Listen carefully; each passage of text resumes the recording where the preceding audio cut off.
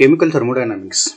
In this topic, the last lecture we have to see about the different types of the processes and their definitions with their constant. Today we discuss about the difference between isothermal and adiabatic process. The distinguish between isothermal and adiabatic process. Isothermal process and adiabatic process first is a isothermal process. There is a temperature of the system remains constant. Therefore, delta T equal to 0. In adiabatic process, temperature of the system increases or decreases. That is, this is not delta T is not equal to 0. Next point is a there is an exchange of heat between system and its surroundings. But in case of the adiabatic process, there is no exchange of heat between the system and surrounding. Next point are the third, the internal energy of the system remains constant that is delta U equal to 0 in isothermal process that is delta T equal to 0 also delta U equal to 0 but in case the internal energy of the system increases or decreases therefore delta U is not is equal to 0 delta T is not is not equal to 0 fourth point is the system is not isothermally isolated from its surrounding. And system is isothermally isolated from its surrounding in adiabatic process. The fifth point is in this process Q is equal to minus W as delta U equal to 0. This point from the first law of thermodynamics and therefore this point is also discussed after this some points. In this process W equal to delta U that is Uh, isothermal process Q is equal to minus W and in adiabatic process delta U equal to W or W equal to delta U. Sixth point for this process delta H equal to 0 change in enthalpy is equal to 0 but in adiabatic process change in enthalpy delta H is not equal to 0 and these are the difference between isothermal and adiabatic process. The next important process is a reversible process. We discuss here the reversible process.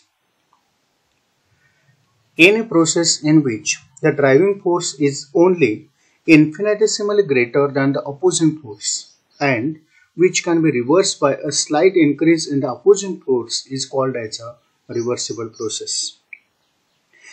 If the driving force is greater then the reactions is goes on the forward directions. If opposing force is greater than the driving force in very infinitesimally then the reactions in goes on the backward direction. Such types of the reactions are called as reversible reactions. For example, consider a gas enclosed in a cylinder have a frictionless having a frictionless movable piston and the external pressure is P external on piston is set equal to the pressure P of the gas. Now if the P external is reduced by infinitesimally amount the piston moves out slowly and gas gets expanded because external pressure is decreases, internal pressure is increases, then the piston moves in the upward directions. However, P external increases by an infinitesimally amount, the piston moves in the downward slowly and gas gets compressed. Thus, infinitesimally changes in the conditions can cause the process to occur in opposite directions. External pressure decreases, gases expand, external pressure increases, gas is compressed. This is depends upon the external conditions. The process is therefore thermodynamically reversible. Such types of the processes are reversible. This is an example.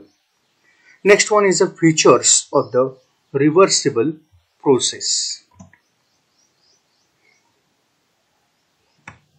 The features of the reversible process contains the following points. First, the driving and opposing forces differ by an infinitesimal amount. Driving and opposing forces are differ in infinitesimal amount. Both the forces goes on slightly increase or decrease, then the process goes on forward direction or backward direction. Second point, the process can be reversed by the infinitesimal change in conditions. Third point, the reversible process proceeds infinitesimally slowly and takes place in infinite number of the steps. Means the external force or the opposing force is infinitesimally greater than the forward force then this process goes on backward direction in number of or infinite steps of the infinite number of the steps. 4 point at the end of every step of the process the system attains the mechanical equilibrium with the surrounding because at when the opposing forces are equal and equal then the system attains the mechanical equilibrium. These are the four features of the reversible process. Next, most important point is the nature of heat and work. First is the nature of work. In mechanical, in mechanics, the work is defined as energy by which body is displaced through a distance d with an application of the force. Means the mechanical work done or the mechanic in the mechanics the work is defined as the energy by which body is displaced through a distance d with the application of the force. Therefore, work done is the product of force and displacement. Hence, formula is W equal to F into D. In thermodynamics, the type of the work involved is pressure volume type of the work or PV type of the work. In thermodynamics, the type of the work involved is a pressure volume type of the work or PV type of the work. That is, the work done when the system expands or contracts against the external opposing force. There is change in the pressure and volume of the system.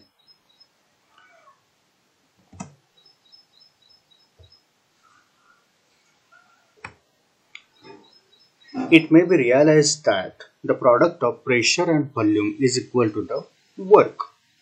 The pressure is defined as the force per unit area pressure means force per unit area. Therefore, if d is the distance, area A equal to the d square and volume V equal to the d cube. Therefore, substitute these values of the pressure force per unit area into the volume is d cube. Force upon d square into d cube equal to F into d. Therefore, W. Hence, PV equal to W. Therefore, the work done equals to the pressure into volume. Such a type of the work done is called as a pressure volume type of the work done. In this work done, there are the two different types depending upon the expansion and contraction. This is discussed in the next lecture. Thank you. 会吧